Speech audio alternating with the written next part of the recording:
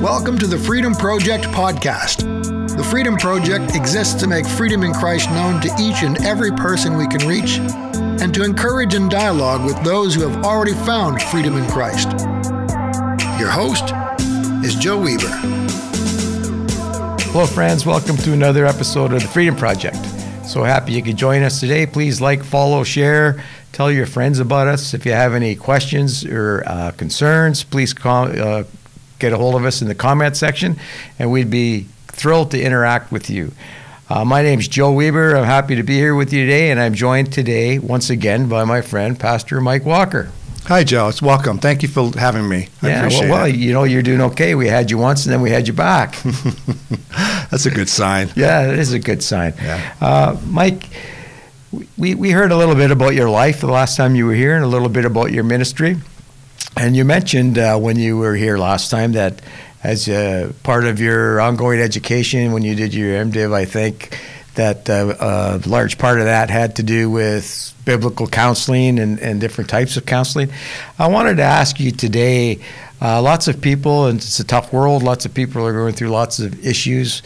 Um, how, how do people I, mean, I don't know how to even put this. I know lots of people, when they have a struggle in their lives, they get angry at God, um, which is kind of okay. David used to get angry at God, and lots of the other people in the Bible. But what's kind of been your experience with uh, people and how they deal with things as emotionally as they deal with issues, Bible? Yeah, that's a um, great question. I think. Uh, I could put it in this analogy that because uh, I work uh, I work here in Ottawa, uh, during the week, uh, maintenance, and at one of the embassies. And uh, you know, so I'm in and out of crawl spaces, changing doors, uh, locks, moving stuff. Uh, um, a lot of our work at the embassy is preventive maintenance, and and of course we're repairing things that break down as well and replacing things. And I, I kind of see how Christianity, Christians sometimes what they do, um, they wait too late mm-hmm. until something happens, and then they're searching and scrambling and trying to find something. Um, it's like our car, you know, maintenance for our car. Uh, often we, I, am the type of person that will wait until the, the light comes on, tells me I have, I have like you know 20 kilometers no left. oil left. no, and my wife, uh, her, her her dad taught her to fill up the tank at half half tank. Well, about 25 years ago, pastoring, uh, when I was pastoring at the, the beginning years, um, I told the church members, I said, to be a member of this church, you have to run out of gas. Because I run out of gas, you have to run out of gas, and that makes you official uh, member.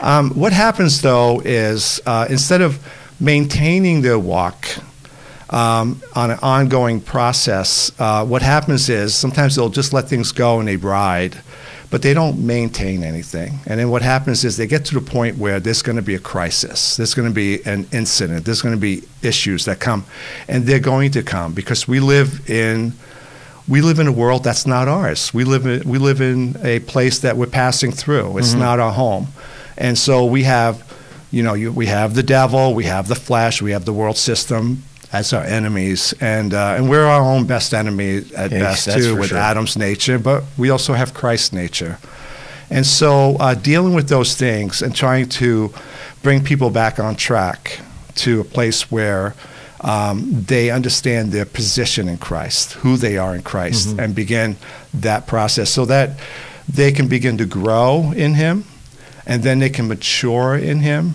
and then uh, they can start experiencing the fruit of the Spirit, um, which is really amazing. And then, of course, you know, walking with Christ, and and it's going to still be challenges, mm-hmm. but with counseling. Um, the type of counseling that I do is it's it's a uh, exchange life counseling. That we can use all different words: abundant life, exchange life, uh, finished work life, uh, uh counseling.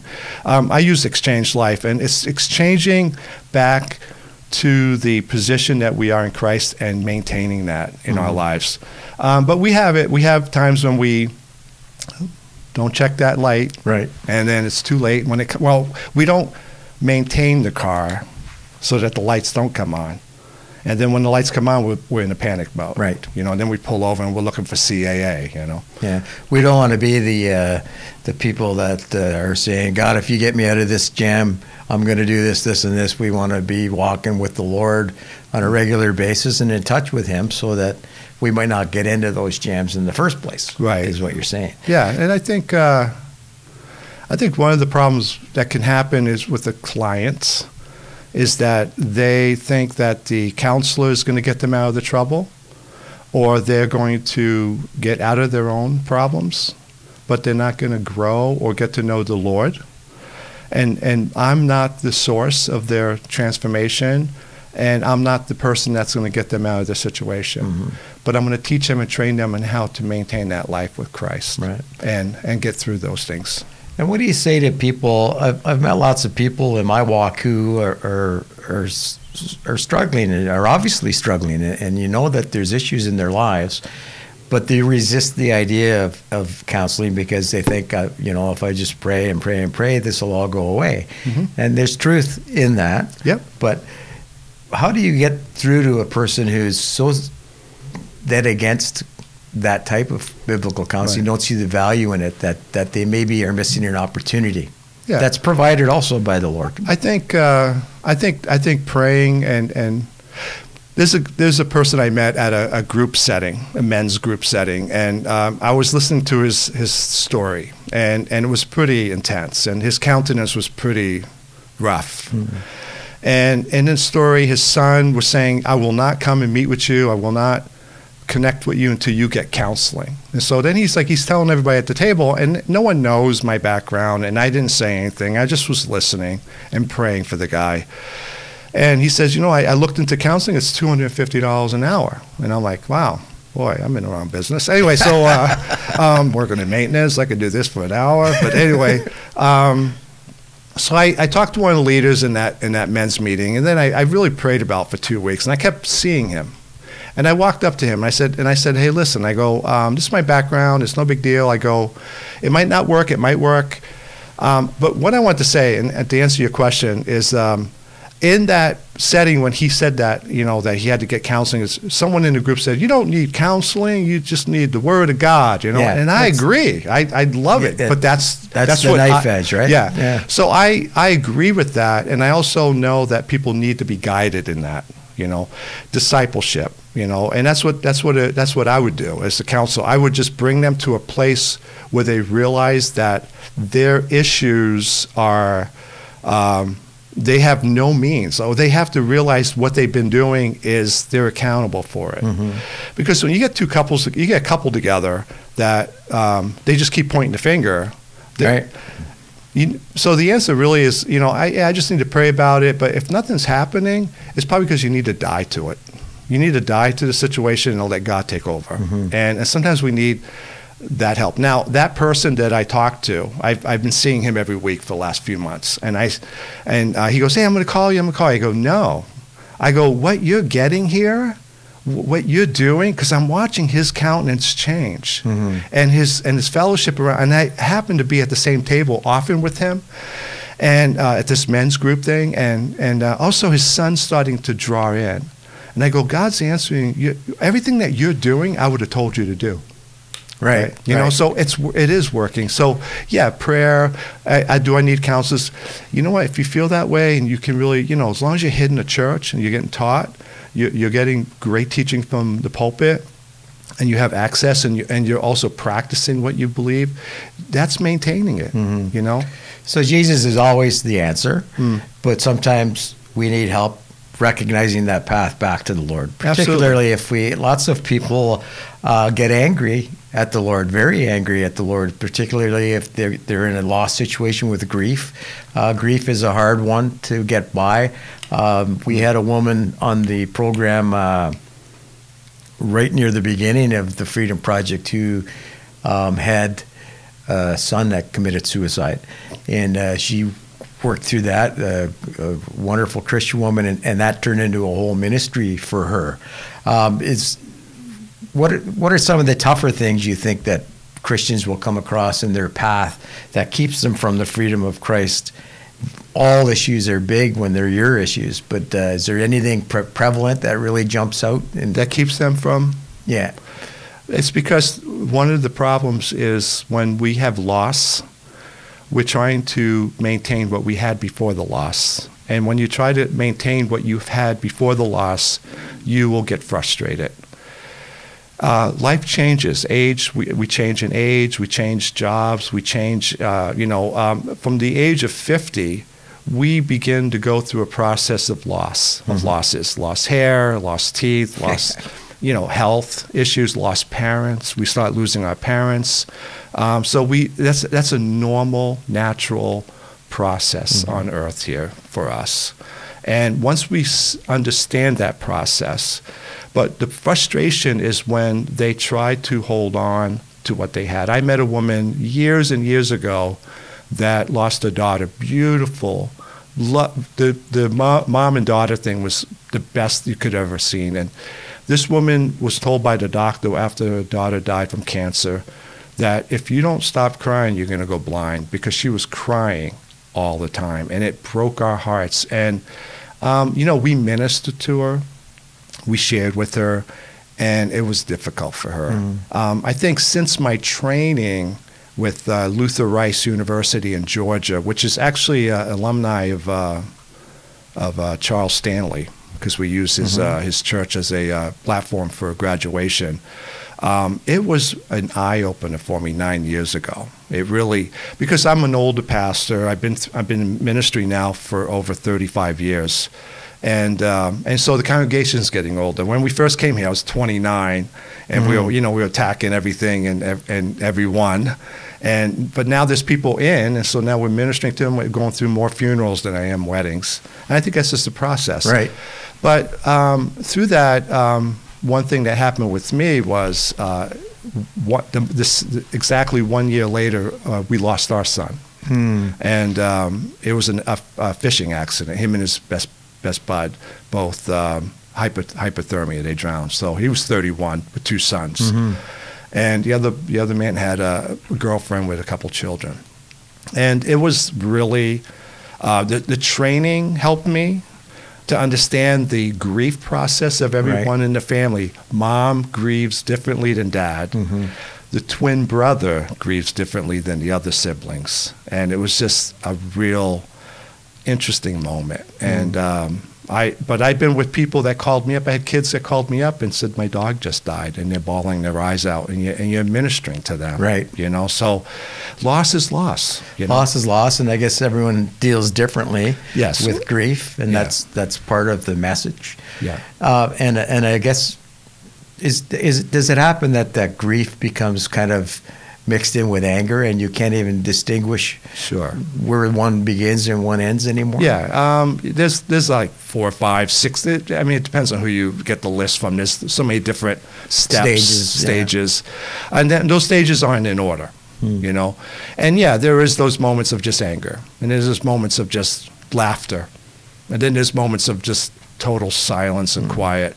Um, I was driving with my wife, and and I just started crying and I didn't even know where I was. Like I, I, I just started crying because I was so upset. I didn't even know where I was. I was driving, and I just forgot where I was. That's mm. how bad it was. You know, one thing that happened to me was I lost short-term memory for mm-hmm. um, for a while. I just really I, I was missing appointments. I never forgot anything, and uh, I had to write down everything. I had to put everything in my phone. Um, I have a good friend in Florida. His daughter was. Uh, uh, she died at church it was a accidental gun discharge from another room in the church. In the church, because a, a man was showing another man after church a gun that that this guy wanted to buy, and it was it accidentally went off, went through a wall, hit a pipe, split three ways. One piece went through another wall and and, and eventually killed her. And wow, the guy that was the guy that was looking at the gun was her fiance. It was just a really crazy story. Wow and he lost the sense physically of uh, sweating. He just stopped sweating. Like it was really weird, like so a physical change, physical manifestations yeah. from the grief. Is it? And it's, yeah. it's partly, I guess, maybe your brain is overwhelmed by the grief. tragedy. It's Yeah. tragedy. It's, it's it's a trauma. Yes. it's a trauma that takes place. Yeah, I, and for me, it was the memory. And I was like, so I started uh, working at the embassy. I had to memorize uh, 350 names for the mailroom when I was working back seven years ago, and um, and I was and I, I counted it as a blessing to regain that memory. Mm-hmm. Um, the, and to bring back your, your point that you thought was uh, what you said about the lady that, that uh, had a, a tragedy in her life and then she used it. Mm-hmm. That's, that, that's a great prayer. Like, God, how can you use this for your glory? That would be a prayer that's not easy to say. Yeah. But, you know, Romans 8 28 and 29 is there for everything, in all things. So it's, and it's together. finding the gift in the suffering. Yeah. Yeah. Yeah. Where, and and you've been able to do that to a degree. I mean, and, and I, well, that's another question. And and these are this is a tough topic for you. I know that, but there's a lot of people in this same situation with you that might be tuning in. So so when there's no time limit on grief, right? I mean, No. uh, does that ever? Does it ever? It doesn't really ever end, I suppose. It It just took kinda, us about two, three years before we start really feeling the ground underneath us, and that's normal. It's normal. But I'm not saying that it's going to take that long. I, the Chinese Bible study that I have, um, the church, um, was the sweetest moment in my life. That kind of kept me together. You know, the Word, fellowship. Right. The church, the English church is great church, but the Chinese church was just a different group of people that just, you know, were very innocent about everything and just, just, you know, just very kind. In, in English churches too, but it was just a different. Do you, um, do you find that uh, th- this is something I've heard, and I, and I don't have any experience in this type of grieving, but I've heard people say that uh, they find people treat them differently, and and some people that I've met were very, were really annoyed at that, and they didn't want it to be treated differently. And I think part of that is because we don't have this conversation with people with each other about grief, and sometimes the people who are not the grieving party just don't know how to relate. Right. Any advice for that kind of situation? Well, I have experience on that. I just, um, I think it's a wonderful question. Um, um, I don't share this often. What I, I mean, what I'm doing now is more than I ever would have done. Share this with you about my son Craig. well, in um, fact, you and I are friends, and we haven't spoken about this since it happened. Right. Yeah. And um, I don't share it with anyone Hmm. unless it's um, I, I pick and choose. Right. It's like any testimony. We we can have a testimony in our pocket, but you know what? That testimony is going to change a little bit depending on who you're talking to. Right. And um, there was one woman in the uh, in the embassy one day was really distraught. And I go, you know, how you doing? What's going on? She goes, it's my son's birthday, but he died when he was 21 on a motorcycle accident. And I go, well, I, I I understand. I I don't I understand how that feels because I and then we became friends Mhm. and then we began to exchange uh, the hope that we have in Christ. Amen. So um, it's it that that's when I shared it. Now, during the process, we had a lot of people that you know we had. It was the church was overwhelmed. It was standing room only, outside only. It was crazy. Um, a lot of his friends, uh, a lot of our f- folks, because of my investments. Um, I had one particular lady said something, and it was like, I, I don't know if I would have ever said that, you know. So it kind of annoyed me. But you know what? That's going to happen, and and I think she meant well, and that's that's what that's where I came down to. She mm. meant well, you know. And I'm not even going to say what it is, but No. it's just one of those things that it sounded nice, but it wasn't it wasn't appropriate, and and I think that that gets you know we're very raw when you're when you're in that situation. Your your soul is mm-hmm. raw, your emotions are raw, and so yeah, people people don't know how to deal with grief because they never dealt with it that way. And and so someone might say, I don't know how you're going through that. Well, it's because God's given me the grace for it. Amen. Where you're not going through it, that's why you don't understand it. Mm. You know. So when I meet with people that I haven't gone through something, I don't try to understand it. You know, I just try and encourage them. Mhm. You know, and uh, I don't try to identify with them. Um, and then at the same time, I if I do see someone or know someone in loss, I might share it with them. I might just have the compassion for them, and they might sense the fact that that same comfort that God has comforted me, now I can comfort you with it. Mm. You know, as Paul tells us to do. And Yeah, and that's a um, that's where we find the gift in the suffering, right? We, Mm. we take that experience, as, as horrendous as it is, and we use that for the work of the Lord. Mm. And in that, find some comfort. Yeah, I mean, when his birthday comes up, or because he has a twin, Hmm. you know, so the twin was very quiet for years. Um, he's now starting to be a little bit more open for birthdays, but you know, um, we don't even really talk about him too much to uh, to him, Hmm. you know. But I'll we'll bring up a, a good memory, Yeah. you know, once and just short, and it's it. He doesn't comment. You know what I mean? And that's Yeah. fine. You know, that's the way he's grieving. That's the way he's grieving. Yeah. So it's a great that we can have a conversation like this, and I really thank thankful to you to uh, open up the way you have. I know it's difficult, and it, it will remain difficult. I expect probably for the rest of your life. Um, until you see him again in glory, you know. Amen. Amen. Yeah. Uh, Mike, if you had, uh, we're going to wrap up here uh, in a minute or two, and uh, but I'd like to to just give you a couple minutes to speak into the hearts of the people that are watching. If you have any uh, thing that you'd like to share with them on any topic at all, please uh, just take a couple minutes and talk Sure. to our viewers. All right. Well, if you are, as the subject today, if you are in a place in your life where you're dealing with loss, um, grief, and you just feel alone and you feel like God isn't there, He's there. And, you know, to tell you the truth, He, he understands what it means to lose a son because He lost His son on the cross for a few hours. He turned His back on Him because of our sin. And so uh, he understands our pain and our sorrow. He he suffered and you know he was tempted in all points like we are. I know it's it's an interesting thing, but when you really look at the life of Christ in the Gospels and the stuff that he endured, the mocking and everything, um, and how he stood true, um, k- keeping his focus on his Father, and how we need to trust him, and that we have access to the Father through the Son. And without, without that, we have no hope. But with Christ, we have hope. And so call upon his name, trust in him, believe in him, and he will bring you to peace that will pass understanding. Believe me, I, I've seen that peace, felt that peace, seen that peace deep within my very soul in the moment of that pain. And I even called out to God and said, You know what, God, I sense your peace and this pain. The pain is okay now because your peace is greater. So trust him. He's the God of all peace, and he will give you peace if you call upon his name. Amen. Amen. Mike, you know, I can't thank you enough for coming in and. Uh, uh, you know, you, I know you're working in the city for a little while. Maybe we'll uh, make this a, a monthly event, and we'll do a topical uh, subject each time. If you something you want to think about and talk about, pick something you're smart about. You know, or not too smart about. not too smart about, fine. and we'll learn together. so thanks again for coming in, and, and thanks for talking about something so personal. You Mm. know, because it's it's sometimes, uh, particularly as pastors, it's easy for us to tell other people to open up, but sometimes it's hard for us to do it, and we get healing in that in that uh, conversation. So we just thank you again for coming by, Thank and you. thank you folks for being with us. If you have any questions about anything at all, please just send them in, and we'll get back to you.